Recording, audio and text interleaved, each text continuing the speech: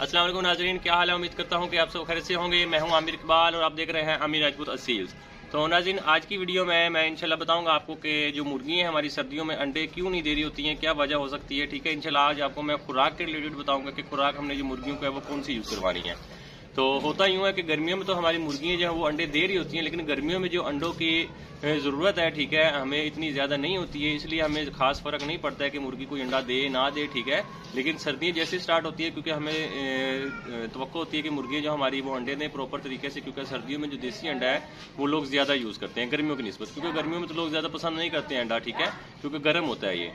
लेकिन सर्दियों में इसकी जो डिमांड है, वो बहुत ज़्यादा बढ़ जाती है तो हर बंदा ही देसी अंडा खाना पसंद करता है फार्मी अंडे की नस्बत। तो लेकिन मसले मिसाल वहाँ पैदा होते हैं, जब हमारी जो मुर्गियाँ होती हैं, वो गर्मियों में तो अंडे दे रही हैं, लेकिन सर्दियों में वो अंडे देना बंद कर देती हैं।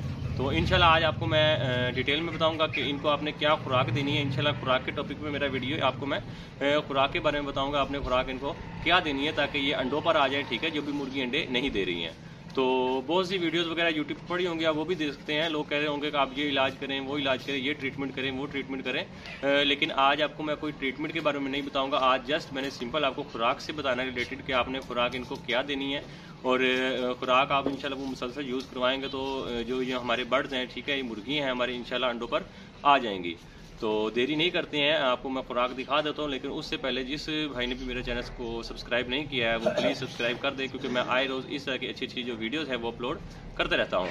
तो देरी नहीं करते हैं, मैं आपको खुराक पहले दिखा देता हूँ, ठीक है? उसके बाद मैं बर्ड्स को डाल के भी दिखाऊँगा, उसके बाद मैं आपको एग्स भी दिखाऊँगा, जो मेरी मुर्गियों ने अब तक दिए हैं, इसी खुराक की वजह से, ठीक है? तो अब मैं आपको खुराक दिखा देता हूँ। तो नाजिन, ये देख सकते हैं आप, ठीक है? ये खुराक है और बीच में जो है मैंने गंदुम दाना, ठीक है? ये दाना मिक्स किया हुआ है। तो आपने जो खाने के लिए इनको खुराक देनी है वो इसी तरह देनी है ठीक है? ये देख सकते हैं ठीक है? ये खुराक है। ठीक है? ये देख लें ठीक है? इस तरह की खुराक होती है ये आप मार्केट से बाय कर सकते हैं वेटनरी स्टोर्स वगैरह जो होते हैं जहाँ पे परिंदों की खुराक वगैरह मिलती है ठीक है? मेडिसिन मिलती है वहाँ पे आपको ये इजीली जो खुराक है वो मिल जाएगी। गंदम तो आपको पता है घर पे भी मिल, मिल जाती है इजीली लेकिन ये खुराक वहाँ से मिलेगी ठीक है? एक नौ नंबर होती है और एक तेरह नंबर होती है।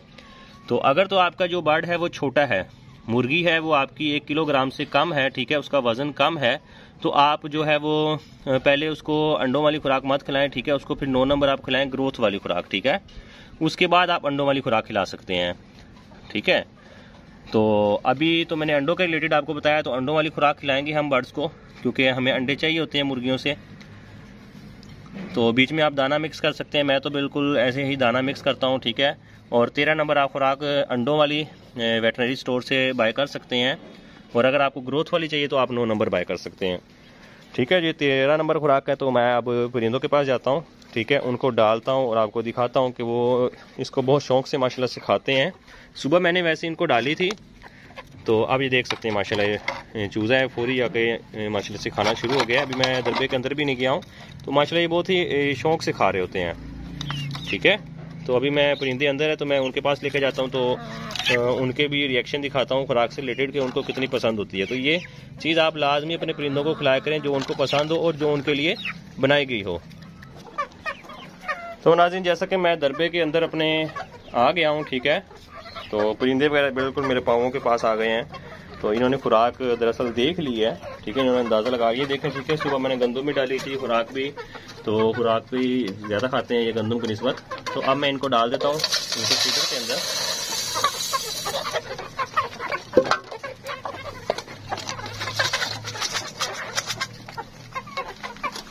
तो नाजिन देख सकते हैं आप, ठीक है, जो मैंने खुराक है ठीक है तेरह नंबर खुराक देनी है, आपने मुर्गियों को अपनी, ठीक है?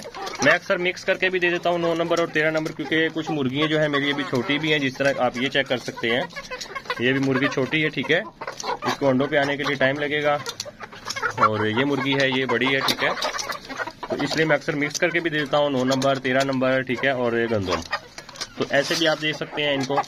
अंडों के लिए आप तेरह नंबर ही खुराक यूज़ करिएगा। इनशाला आपको जो है वो काफ़ी फ़ायदा होगा। तो अब इंशाल्लाह मैं आपको एग्स दिखा देता हूँ। ये एग्स के लिए मैंने टोकरी यहाँ पर रखी थी। तो मज़ीद अब इनके लिए जगह मैं इंशाल्लाह बनाऊँगा क्योंकि मुर्गी हैं वो अंडों पर तकरीबन अब काफ़ी मुर्गियाँ जो है वो आने वाली हैं और कुछ आ गई हैं। तो इनशाला इनकी जो जगह है वो जब मैं बनाऊँगा तो यहाँ पे बनाऊँगा तो इनशाला वो भी आपको मैं दिखाऊँगा। तो माशाल्लाह से बहुत शौक से खा रही हैं ये। तो अब मैं आपको चलते हैं एग्स दिखा देता हूँ, ठीक है? कि मैंने खुराक इनको खिलाई है तो इन्होंने एग्स जो दिए हैं, वो आपको दिखा देता हूँ। तो नाजिन देख सकते हैं आप, ठीक है? ये एग्स हैं, देसी एग्स हैं प्योर देसी एग्स हैं, ठीक है? जो मेरी मुर्गी हैं, वो दे रही हैं, माशाल्लाह से। तो मैं इन्हें जस्ट जो खुराक है वही खिला रहा हूँ, दाना खिला रहा हूँ, ठीक है? आपको जो मैंने बता दिया अब तक। तो इनशाला आप ये यूज़ करवाएँ तो इनशाला आपकी जो मुर्गी है, वो प्रॉपर तौर पर अंडों पर आ जाएँगी। तो इनशाला आपको काफ़ी से फ़ायदा होगा। तो आपको और कुछ करने की फ़िलहाल ज़रूरत नहीं है। अगर आपकी मुर्गियाँ जो है, उनका जो वज़न है, वो एक किलोग्राम या तकरीबन 1100 ग्राम का है तो वो मुर्गियाँ जो है, वो अंडे देने की सलाहियत रखती हैं। सिर्फ़ जो है वो खुराक आप उनको खिलाएँ तो वो प्रॉपर तौर पर अंडे देना स्टार्ट कर देंगी। ये मैंने रेफ्रिजरेटर फ्रिज है, उसके ऊपर रखे हुए अंडे। ठीक है? क्योंकि नीचे फिर ये गिरा देती हैं। तो नाजिन जैसा कि मैंने आपको बताया कि मुर्गियों को हमने कौन सी खुराक खिलानी है, किस तरीके से खिलानी है, उसमें क्या मिक्स करना है, ठीक है? क्योंकि मैं तेरह नंबर खुराक उनको खिला रहा होता हूँ एग्स के लिए, ठीक है? नौ नंबर खुराक खिलाता हूँ उनकी ग्रोथ के लिए, ठीक है? तो आज का टॉपिक हमारा एग से रिलेटेड है तो आपने तेरह नंबर जो खुराक है, वो ही खिलानी है अपने बर्ड्स को, मुर्गियों को, ठीक है? ताकि जो आप हैं, उनसे वो अंडों की यानी कि उम्मीद रख सकते हो, ठीक है? तेरह नंबर खुराक खिलाएँ, ठीक है? इनशाला जो तेरह नंबर खुराक है, इनको अंडे देने की सलाहियत तो पूरी भरपूर रखती है, ठीक है? हंड्रेड परसेंट सलाहियत रखती है तो आप तेरह नंबर इनको खुराक लाजमी खिलाएँ, ठीक है, क्योंकि सर्दियाँ होती हैं, इनका जिसम इतना गर्म नहीं रह पा रहा होता है लेकिन जो तेरह नंबर खुराक है, इसमें इतनी सलाहियत होती है कि ये जो बर्ड्स को है, वो सर्दियों में सर्द रातों में, तेज़ हवाओं में गर्म रखने की, ये सलाहियत रखती हैं। तो इनशाला जो अपने आपकी मुर्गियाँ वगैरह है, तेरह तेरह नंबर खुराक खाने से उम्मीद है कि हंड्रेड परसेंट नहीं तो तकरीबन एटी परसेंट तो वो अंडों पर आ जाएँगी। तो आज की वीडियो में नाजन इतना ही तो जिन लोगों को मेरी ये वीडियो पसंद आई है तो प्लीज़ मेरे चैनल को ज़रूर सब्सक्राइब कीजिएगा लाइक कीजिएगा कमेंट कीजिएगा और इस बेल के आइकन को क्लिक करना मत भूलिएगा क्योंकि मैं रोज़ तक अच्छी अच्छी जो वीडियोज़ है, वो अपलोड करता रहता हूँ। तो अब आपसे इजाज़ चाहूँगा। दुआओं में याद रखिएगा। अल्लाह हाफिज़।